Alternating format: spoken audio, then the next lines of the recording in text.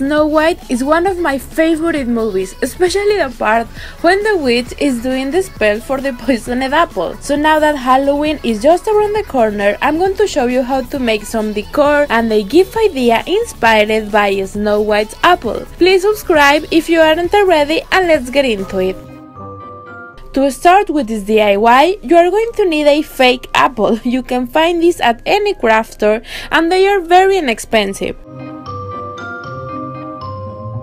Now to make it look exactly like the apple from the movie, I'm going to use a white crayon and I'm going to start tracing the main shapes of the skull or the dripping poison, like the eyes, the hole of the nose and the drips on the sides. Use something to help you keep the apple in place and now to create the drips I'm going to be using puffy paint I tried this with the glow in the dark paint in green but it was a complete fail. The paint was super sheer so I highly suggest to use the white one. And now go over the crayon with the puffy paint. Since you already have the guide that we just made with the crayon, this process will be 10 times easier.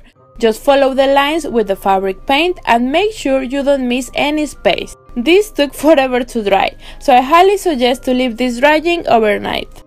I really love the final result. I think it looks really cool and is a super unique decor for this season that is going to make your room or nightstand perfect for Halloween.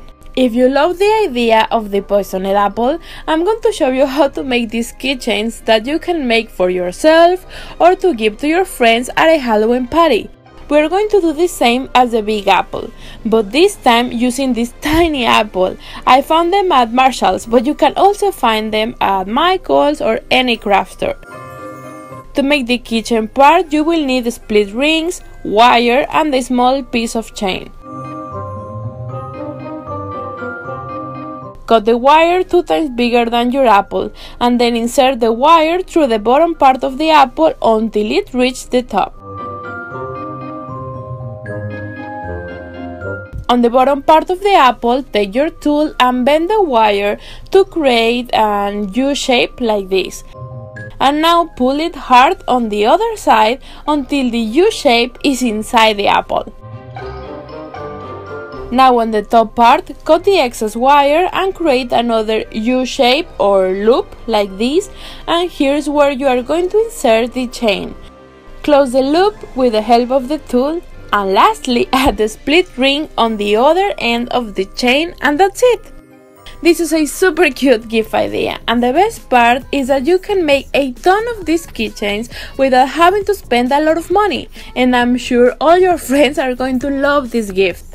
And well guys, that's it for today's video. I really hope you like my idea. If you're going to recreate it, don't forget to use the hashtag Maphieween so I can see your recreations. I love you guys so much and I will see you in my next video very soon. Bye!